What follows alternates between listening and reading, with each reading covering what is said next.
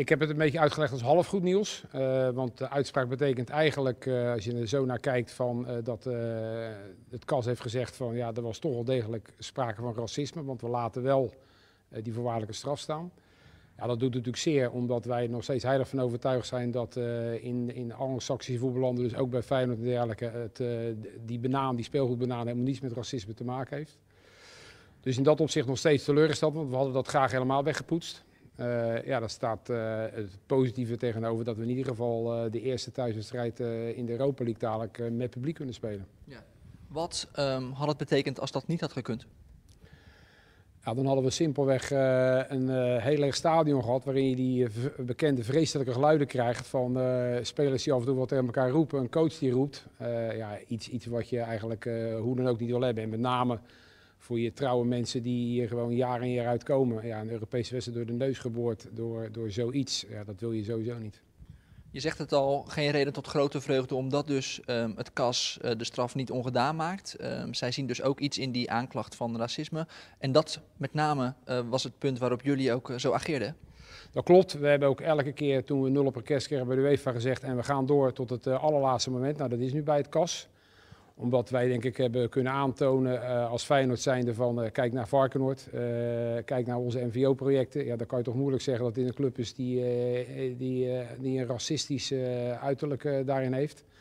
Bovendien denk ik ook, we, hadden, we hadden prachtige beelden laten zien van Manchester City-Everton voor de League Cup. Waarin er wel 1200 van die flotenbos van bananen rondvlogen. Om maar aan te geven dat dit, dat dit ja, in dit soort landen gebruikelijke nou, gimmicks zijn, zou ik bijna zeggen. Ja, dus vanuit die, op, vanuit die optiek is het teleurstellend dat dat toch niet uh, volledig gehonoreerd is. Er blijft een aanzienlijke straf staan, 50.000 euro boete en uh, de wedstrijd zonder publiek is omgezet in een voorwaardelijke straf hè, met een proeftijd van drie jaar. Hoe gaan jullie voorkomen dat het in die komende periode alsnog misgaat? Nou ja, om het maar even helemaal compleet te maken, dat is iedereen bijna alweer vergeten. Maar we hadden ook nog een straf staan, een voorwaardelijke wedstrijd uh, vanwege het gooien van, uh, van voorwerpen. Daar zijn we niet tegen in bezwaar gegaan, want dat was gewoon zo. Dus uh, dat was een voorwaardelijke straf van twee jaar. Daar is nu één seizoen van voorbij, omdat we dit jaar geen Europees voetbal hebben gespeeld. Dus is één. En dan hebben we nu dus nog vanaf aanstaande seizoen een, een wedstrijd voorwaardelijk met drie jaar bedenktijd, om het zo maar te zeggen, vanwege racisme.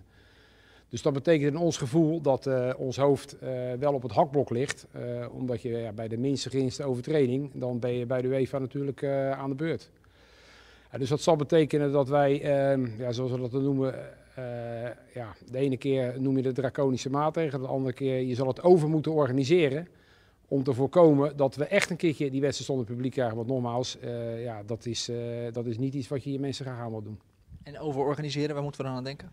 Ja, dan zou je dus een aantal maatregelen moeten nemen die, uh, waarin we natuurlijk al een tijd over aan het nadenken zijn. Waarin we ook met het uh, bestuur van de FSV, met de Fijne Supportersraad aan het praten zijn. Dat kan heel variëren. Dat kan gaan om netten, dat kan, kan, gaan om een andere indeling van je tribunes. Dat kan gaan om sommige tribunedelen, net als Atletico Madrid, ik recent zag, helemaal niet te bevolken. En rondom de loting, waarin het ook wel een beetje bepalend is wie eerste tegenstander is, zullen we daar definitief onze maatregelen van gaan opstellen. Ja. Nou is jullie standpunt heel duidelijk, zo'n opblaasbanaan is geen racisme. Uh, we zien nu dat andere partijen daar blijkbaar anders over uh, denken. Gaan jullie ook iets doen om die dingen uit het stadion te weren? Ja, kijk, uh, een van de zaken is je kunt allerlei fysieke maatregelen nemen. Maar we zullen met name ook in de communicatie vanuit onze organisatie moeten aangeven hoe dit spel gespeeld wordt binnen de UEFA en, en, en wat wel en niet kan. Uh, en dat zal nog een hele tour worden om een dusdanige communicatie, dusdanige campagnes te bedenken. Iedereen denkt van ja, dit is echt serieus. En uh, we zullen met z'n allen uh, waanzinnig achter die ploeg moeten gaan staan. Maar wel binnen spelregels die, die blijkbaar wel kunnen. Ja. Het KAS heeft gesproken. Is er nog enige mogelijkheid om alsnog jullie gelijk te halen? Of was dit het? Nee, dit is het dan. Daar moet je het maar mee doen. Daar moeten we het maar mee doen, dat klopt.